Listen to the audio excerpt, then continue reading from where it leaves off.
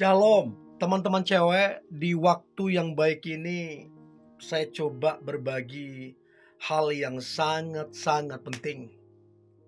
Jadi, kamu yang lagi membangun hubungan, ataupun kamu yang membangun kedekatan dengan seorang pria, kamu harus tahu apakah pria tersebut pria yang tepat atau bukan untukmu. Jangan sampai kamu menjalani hubungan bertahun-tahun, ternyata pria tersebut nggak tepat sama kamu.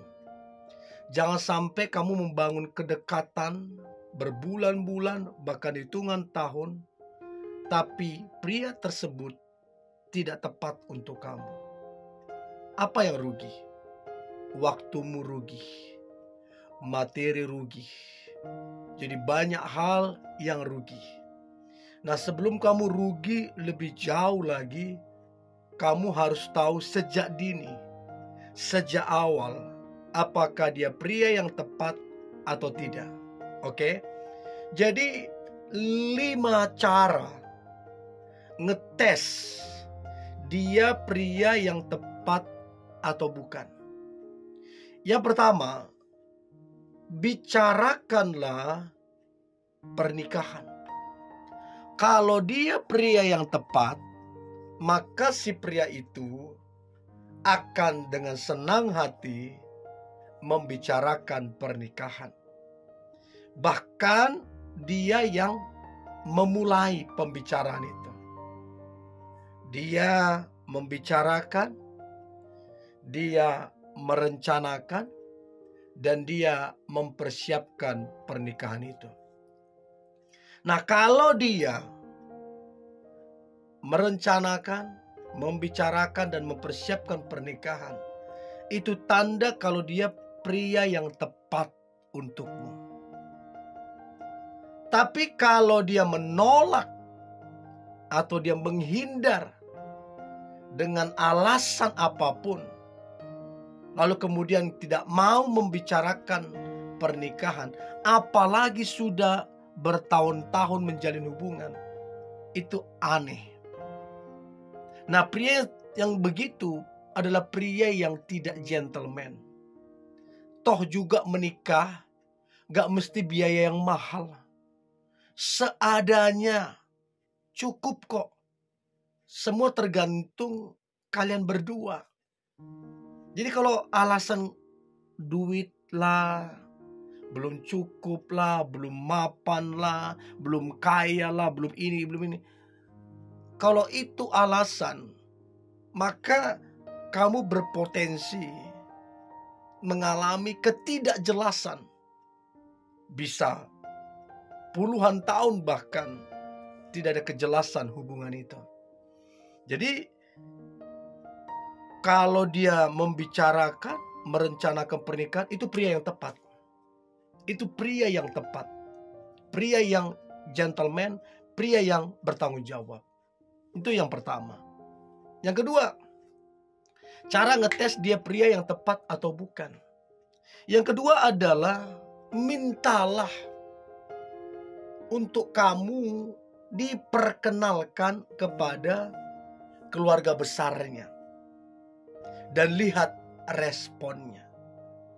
Pria yang tepat tanpa kamu minta, justru dia yang berinisiatif memperkenalkanmu kepada keluarga besarnya. Tapi dia yang tidak tepat, udah kamu minta, dia menolak, dia menghindar, dia nggak mau membicarakan itu. Ada apa? Bukankah pernikahan bukankah dikenalkan ke keluarga adalah hal yang penting? Nah, kenapa kemudian dia menolak untuk kamu diperkenalkan kepada keluarganya? Nah, dari situ kamu bisa berpikir ada apa? Apa yang dia sembunyikan? Apa yang dia rahasiakan?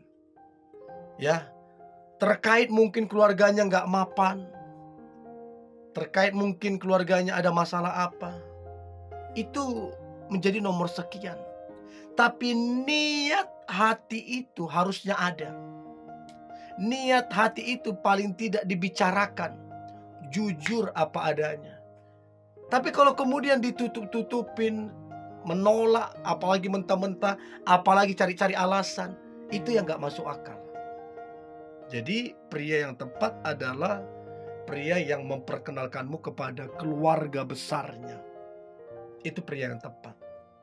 Yang ketiga, cara ngetes dia pria yang tepat atau bukan. Yang ketiga adalah bicarakanlah masalah yang sedang kamu hadapi, baik di pekerjaan, baik di keluarga, ataupun tantangan apa pun yang sedang kamu alami. Coba bicarakan ke dia, dan lihatlah bagaimana respon dia, bagaimana kedewasaan dia. Nah, kalau kemudian kalian bisa ngobrol dari hati ke hati, bisa merencanakan solusinya, maka kedewasaan dia itu terbukti. Dia tidak menghindari masalah, tapi dia selesaikan masalah. Ada tanggung jawab di situ. Nah, pria yang tepat adalah pria yang dewasa. Jangan harapkan teman-teman cewek masa depan yang indah di dalam hubungan yang dibangun di atas kekanak-kanakan. Jangan harapkan, nggak ada. Sebab pondasi membangun hubungan yang punya masa depan yang luar biasa. Pondasinya adalah kedewasaan. Kalau kekanak-kanakan minta maaf, tidak ada pertumbuhan, yang ada menurun, merosot, ambruk jadinya. Untuk itu cek seberapa dia dewasa dalam menanggapi masalah, menyelesaikan masalah, membantu mencari solusi dan lain-lain.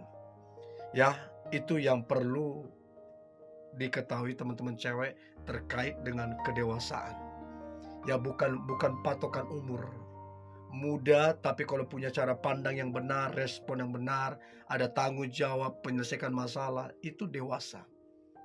Itu yang ketiga. Yang keempat, cara ngetes dia pria yang tepat atau bukan. Yang keempat adalah cobalah minta untuk dia share foto kalian ataupun video kalian di story WA-nya. Tentunya foto yang baik ya, bukan yang aneh-aneh.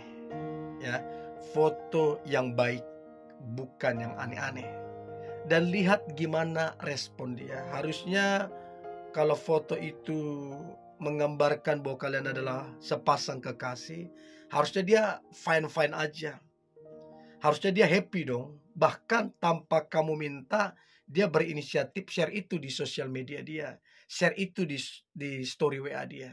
Tapi kalau kemudian dia menolak dengan dengan dengan tegas dia menolak dan alasannya tidak masuk akal.